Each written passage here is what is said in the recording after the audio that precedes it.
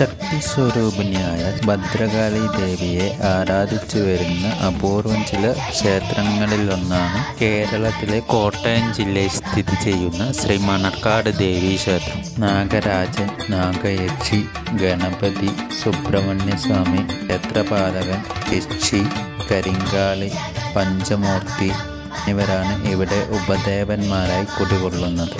മണർക്കാട്ടമ്മ സാക്ഷാൽ കൊടുങ്ങല്ലൂരമ്മയാണെന്നാണ് ഭക്തർ വിശ്വസിച്ചു വരുന്നത്.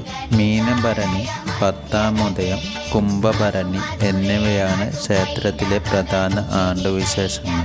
വൃശ്ചികം ഒന്ന് മുതൽ അമ്പത്തൊന്ന് ദിവസം വരെ നീണ്ടു നിൽക്കുന്ന കളമെയ്ത്തും പാട്ടിനും സമാപനം കുറിച്ചുകൊണ്ട് ദേശഗുരുതിയും പാട്ടുകാല ഓടിച്ച മഹോത്സവവും ഒരു വലത്തെഴുന്നള്ളത്തും നടത്തി വരുന്നുണ്ട്.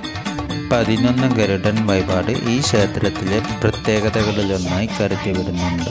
ദേവീ ക്ഷേത്രത്തിനോട് തുല്യ പ്രാധാന്യമുള്ളതും ശബരിമല ശ്രീധർമ്മ ശാസ്താ ക്ഷേത്രവുമായി ബന്ധമുള്ളതും കരുതി വരുന്ന ഒരു ശാസ്താ ക്ഷേത്രം ദേവീ ക്ഷേത്രത്തിനു തെക്ക് ഭാഗത്തായി സ്ഥിതി ചെയ്യുന്നുണ്ട്. കൂടാതെ സുബ്രഹ്മണ്യസ്വാമി ക്ഷേത്രവും വിനായക ക്ഷേത്രങ്ങളും വെളിച്ചപ്പാടിന്റെ ഒരു ആലയവും ക്ഷേത്ര സമീപത്തായി സ്ഥിതി ചെയ്യുന്നുണ്ട്. കോട്ടയത്ത് നിന്ന് കേക്ക് റോഡ് വഴി മണർക്കാട് ജംഗ്ഷനിൽ നിന്ന് കിടങ്ങൂർ മണർക്കാട് റോഡ് വഴി ഏകദേശം ഒന്നര കിലോമീറ്റർ മാറിയാണ് ഈ പ്രസിദ്ധവും ചിരപുരാതനവുമായ ദേവീക്ഷേത്രം സ്ഥിതി ചെയ്യുന്നത്. ഗണപതി സുബ്രഹ്മണ്യസ്വാമി ക്ഷേത്രപാലകൻ നാഗദൈവങ്ങൾ കരിങ്കാളി പഞ്ചമൂർത്തി യക്ഷി എന്നിവരാണ് ക്ഷേത്രത്തിൽ ഉപദേവന്മാരായി കുടികൊള്ളുന്നത്.